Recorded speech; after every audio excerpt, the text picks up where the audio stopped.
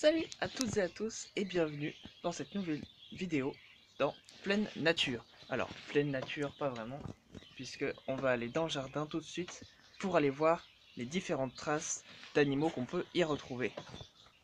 Et j'ai pas de chance, la pluie vient de commencer à tomber, on va faire vite. Évidemment, les premières traces qu'on va retrouver, ça va être celle d'un chat. Bon, je sais parce qu'il y a souvent un chat, un maraudeur qui vient passer son temps ici. Et j'ai déjà étudié le terrain ce matin, donc je le sais. Allez, on va voir si on trouve d'autres traces intéressantes. Voici notre chat qui a fait de belles empreintes, de belles pistes. Et on vient de trouver une bonne piste. Alors, ici, on a la piste du chat qui va à l'encontre de celle d'un mulot. Et ici, on a une piste, mais je ne sais pas vraiment à quoi, à qui elle correspond. Ah, je sais que la fouine, elle passe de temps en temps. ça me paraît possible. Je verrai, je vous dirai ça tout à l'heure ou dans l'espace commentaire si je trouve à quelle espèce ça appartient. Allez, on continue. Et dites bonjour aux poulettes.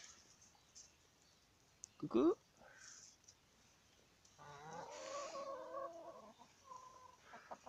Et oui, on va dans l'enclos des poules pour aller voir ce qui s'est passé la nuit. Parce qu'il s'est passé un truc de dingue. Encore la piste du chat, décidément. Et on va voir où est-ce qu'elle nous mène remonte la piste. évidemment, ici, on a des empreintes de poules. C'est calinacé.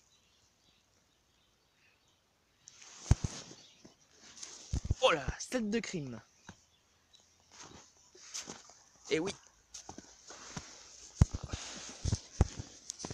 Pas compliqué à voir. On a des traces de sang. Bon, ce matin, c'était encore plus visible. Voilà.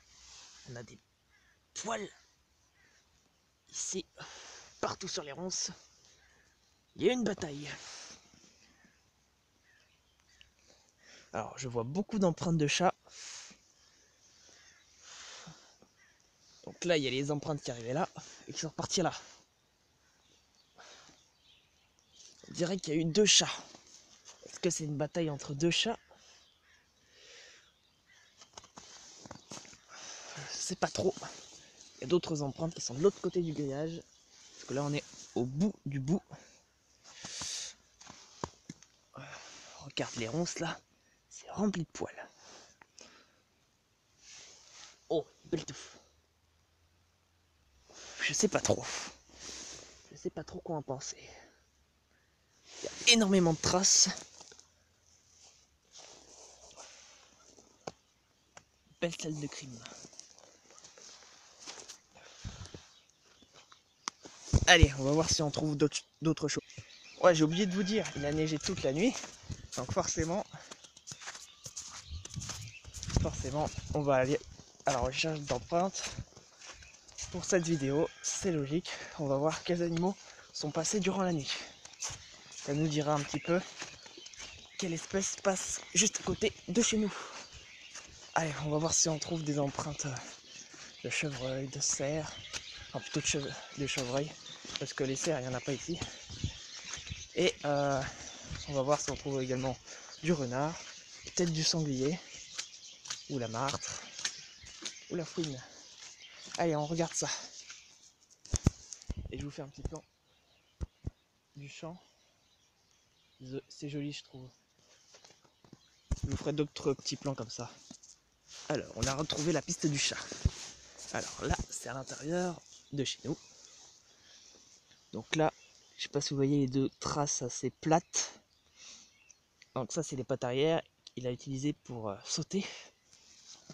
Là, pareil, il a utilisé ses pattes arrière pour atterrir avec ses pattes avant juste ici. Donc il a atterri comme ça. Enfin, dans le sens comme ça. Et ensuite, il est reparti. Donc on va voir si on retrouve des traces. Tiens, là, ce sont des traces qui sont beaucoup plus anciennes, qui partent dans le champ. On saura peut-être jamais ce que c'est. Et on a trouvé un passage d'un animal. Ici. Bien là, les traces viennent là. Hop. S'accumulent là. Et ça passe de l'autre côté. Donc là, j'ai pas regardé avant. On dirait également un chat qui est passé juste là. En plus, on voit ici la neige qui est un peu. Elle est pas, elle est pas blanche, donc euh, transparente. Elle est transparente, donc euh, on voit qu'il y a eu du passage. On va essayer de trouver d'autres endroits comme ça où il passe. Toujours intéressant.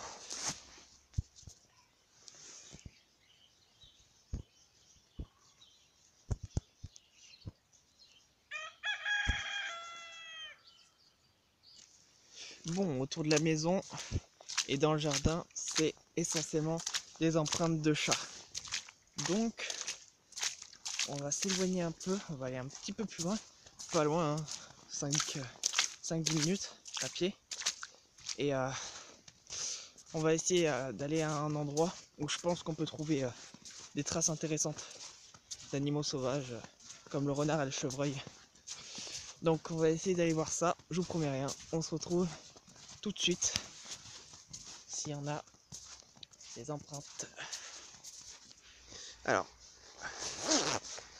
en attendant qu'on trouve des trucs, je vais vous montrer. Je me suis fait un petit carnet où j'ai dessiné moi-même certaines empreintes. Bon là c'est le loup par exemple. Et nous, voilà. On va chercher nous, pour l'instant, tout ce qu'on a, c'est ça. C'est les empreintes de chat. Donc on va essayer d'aller trouver... Euh, euh, attendez que je trouve... Voilà. Ce type de trace. Bon, c'est mal dessiné, hein, je l'ai fait il y a longtemps. Donc le renard. Et puis on va aller chercher également peut-être qu'on trouvera des empreintes de sanglier. Et puis euh, cette empreinte là, reconnaissable, le chevreuil. Voilà, on va voir si on trouve ce genre d'empreinte tout de suite. Allez, c'est parti. Bah, vous savez quoi? Toutes les empreintes que je vous montrer, c'est même pas celles que je viens de trouver. Allez, regardez-moi ça ici. Donc ça va dans ce sens-là. Hop, il a traversé là-bas. Donc ici on a une patte avant, une deuxième patte avant et deux pattes arrière. comme ça, là. Hop, il vient du champ. Ça vient d'en face, sûrement du bois là-bas. Donc, est-ce que vous avez une idée de ce que c'est? Eh bien, dites-le moi dans l'espace commentaire, vous me le dites à quoi correspond cette trace?